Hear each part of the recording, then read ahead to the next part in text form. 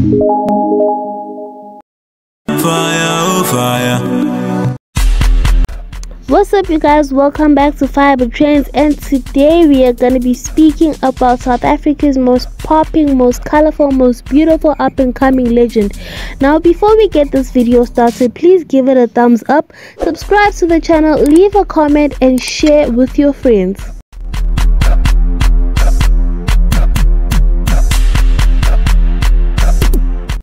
Maya Christinah Chabo Wegerif, popularly known as Sho Madjozi, was born on the 9th of May 1992 in Shirley Village in South Africa, Limpopo. Regarded as one of the best performers in Africa, Madjozi incorporates her Tsonga culture in her music, her fashion sense, and as well as the public image. Madjozi is indeed one proud African who has traveled parts of Africa at a young age, as her father, Meg Wegerif, is a European who traveled to particular regions of Africa. Maya got the opportunity to travel with him to places like Tanzania as well as Senegal. Shoma Madjozi started rising and getting recognition after her collaboration with the rapper OK Malum Cat on songs like Nyashisa Be and the hit single Maya, who is a multiple award winner, is a rapper, singer, songwriter, poet, and also an actress who has been featured on the global music platform Colors, which took place on the 15th of August 2019, which was where she performed her hit single John Cena.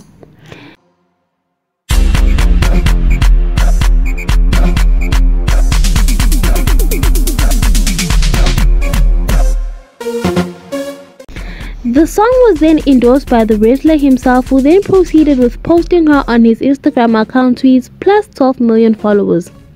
Shoma Madjozi appeared on the Kelly Clarkson show as a guest to talk about the song. While performing, John Cena appeared from the backstage to surprise her, and the video of her reaction trended as she said it was a dream of hers to meet Cena in real life.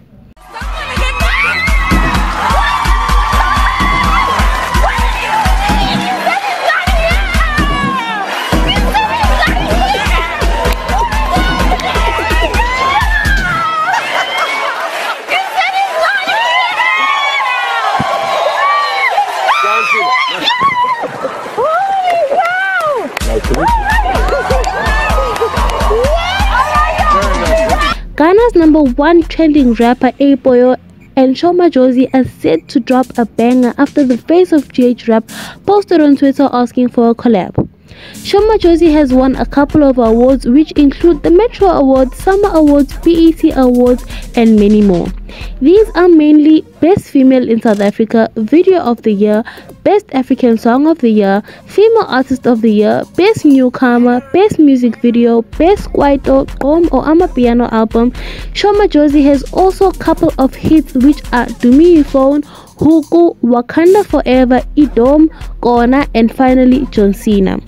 Let's get this video to 100 views for a part 2 on Sho Madjozi.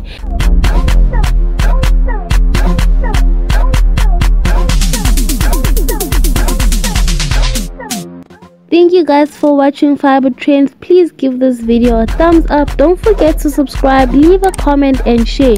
And don't forget that it's a hundred views for a part two on Sho josie Bye guys.